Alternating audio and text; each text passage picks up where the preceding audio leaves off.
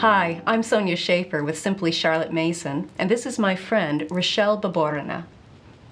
I've enjoyed learning about Charlotte Mason's methods over the years through her original writings. But one subject she doesn't touch on very much in her original writings, and that is the subject of mathematics. In fact, often when I would read in volume three, when Charlotte said, I need not touch upon the subject of mathematics. It is receiving ample attention and is rapidly becoming an instrument for living teaching in our schools. I would think, yes, you do need to touch upon this subject. Tell me more. I need more of this, and I want to know how to make it an instrument for living teaching in my school.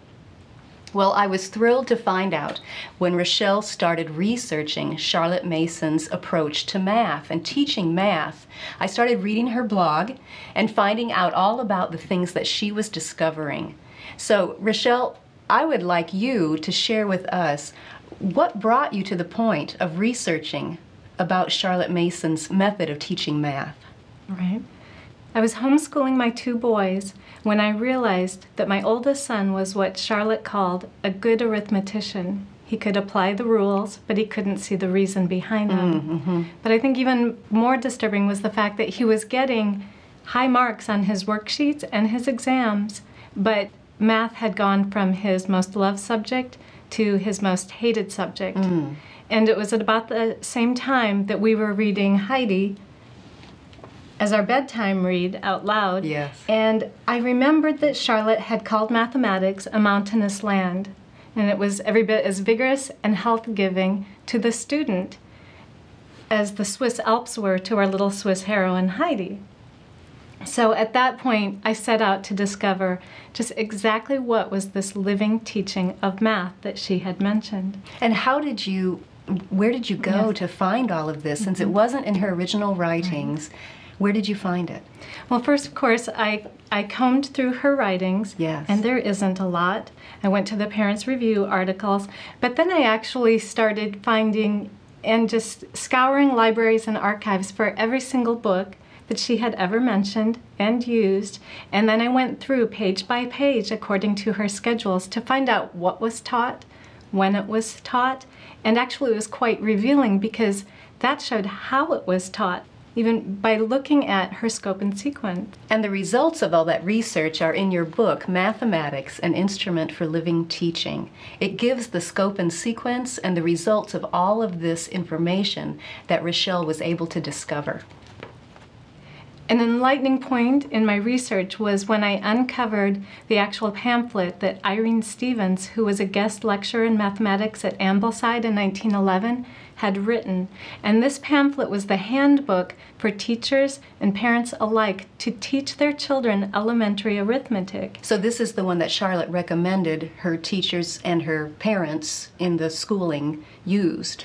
It did. And what happens is in volume one, Charlotte mentions Sonnenschein's ABC for arithmetic. Yes. And so people will go out and they will find that a reproduction of that, and they will try to teach their child using that book. Mm-hmm.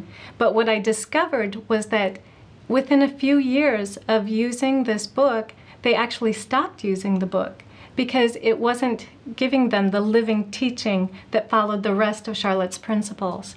So, what Irene Stephens did was she set out step by step to show the parents how to do this. Wow. So, what stood out to you from all that research? What really stood out to me was just how simple, effective, and enjoyable the teaching of arithmetic could be. Mm-hmm. And anyone can teach their child elementary arithmetic without the use of an expensive curriculum or manipulatives, hmm. or without it being overburdening or taxing to mother.